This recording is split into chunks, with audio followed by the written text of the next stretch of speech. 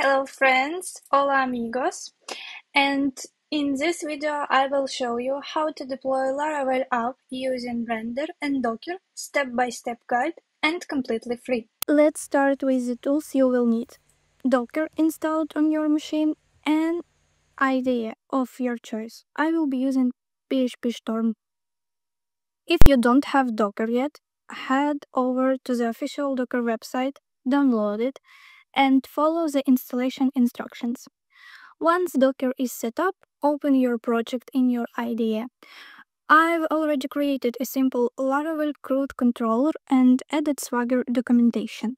In the root of your project, create a file called Dockerfile. We'll use a base image that supports Laravel out of the box.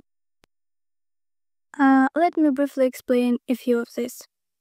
So we prevents uh, the image from auto-running Composer, tells Nginx to sort files from Laravel's public folder, and sends PHP errors uh, where Docker can log them, and make sure that app debug set to false uh, in production to avoid exposing sensitive data. So next, create a .dockerignore file to prevent unnecessary files from being copied into the image, like vendor and node modules. When the container starts, it runs a script called start.sh. Oh, I'm sorry. I need to rename it. Just start.sh.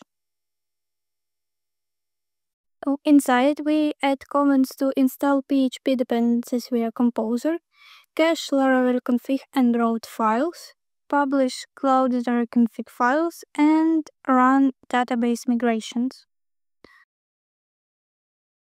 So now we're creating a folder named scripts and inside it, and create a file called o-laravel-deploy.sh.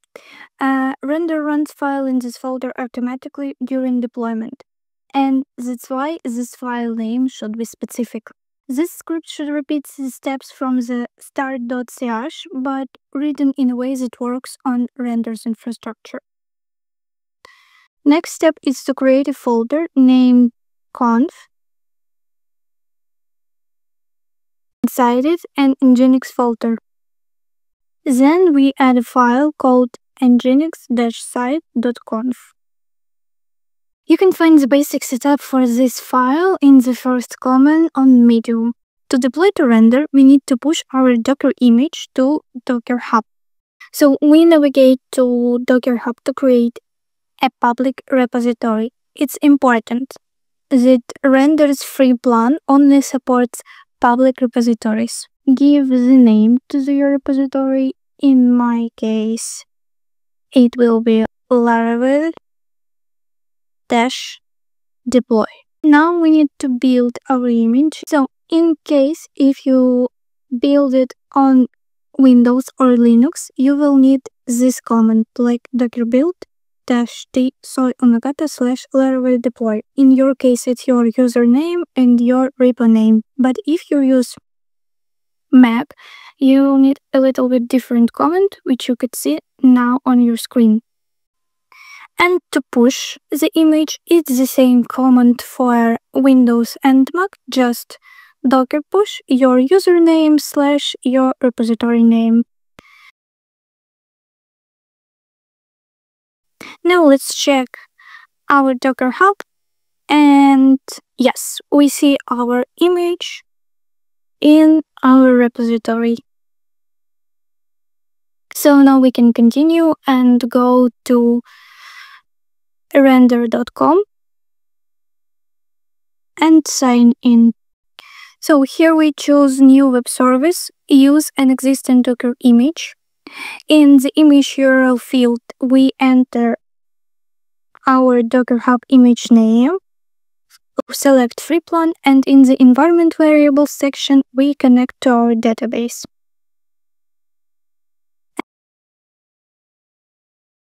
And click deploy web service. Waiting till the deployment finished. So,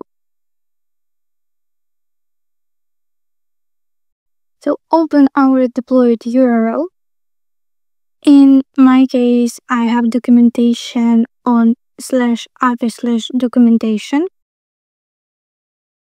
and we see the errors. And in my case, it's because we need to go to the app http kernel.php file and make sure that we included CORS in our middleware group. And also check the app service provider. Your URL for scheme should be HTTPS.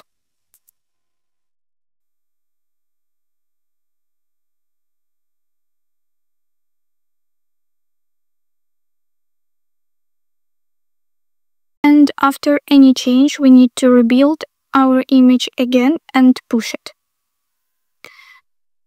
And then redeploy it manually on render. And we try it again.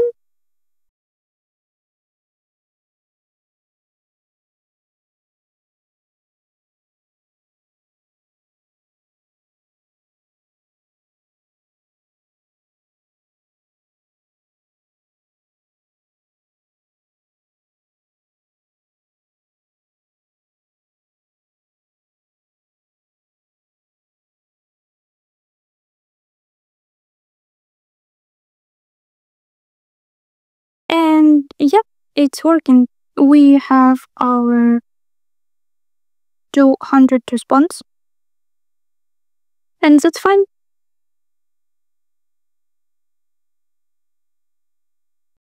So I use this setup for my side projects and it works great.